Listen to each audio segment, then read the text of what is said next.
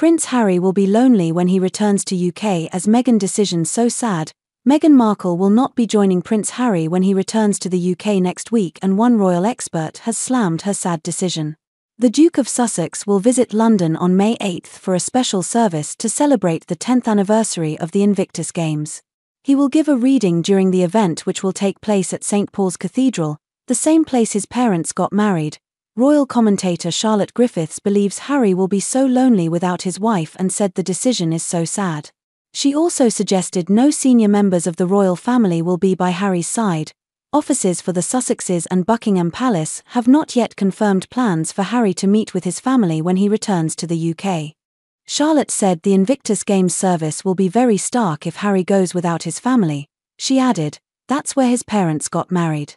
It's going to be a very somber and senior event. Princess Diana and the then Prince Charles married in 1981, but later split in 1992 and finalized their divorce in 1996.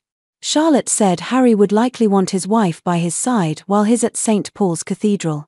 It's a really important part of Harry's soul, and the kind of thing he'd want his wife, maybe even his kids by his side for, she explained. Meghan Markle's confusing Invictus Games moments, Meghan Markle has always supported Prince Harry, especially when it comes to the Invictus Games. But it seems some veterans aren't happy with her involvement.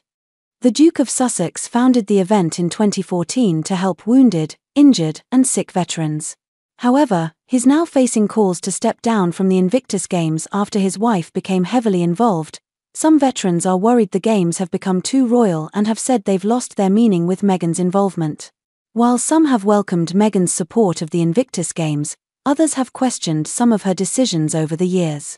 Amid the outcry, we've taken a look at some of Meghan's confusing Invictus Games moments at the events.